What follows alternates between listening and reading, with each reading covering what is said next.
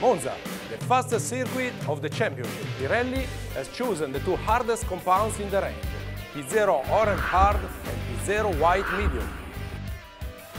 There are three areas that work the tires particularly hard. First chicane with heavy braking.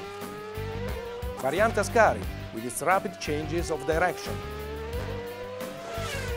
Parabolica, a long and open corner that generates big lateral forces. Monza also features some of the fastest races of the year, in which the cars reach 340 kph. Let's look in detail at the influence camber and tire pressures have on car performance, particularly on very fast tracks. Camber is the angle at which the wheel sits compared to the vertical. It can be positive or negative. Formula One uses negative camber angles both at the front and at the rear.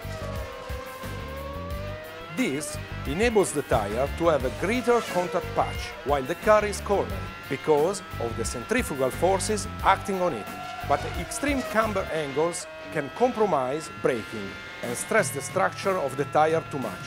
This is because the tire is only in contact with the ground in the area close to the internal shoulder, which can cause fatigue, overheating and excessive wear.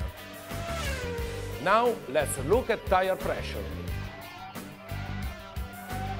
Low pressures mean that more of the tire can be in contact with the ground. This means better grip and performance.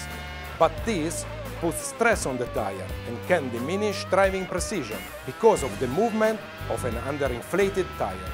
Excessively high pressures, by contrast, reduce the contact patch. This reduces performances and can sometimes lead to patches of overheating.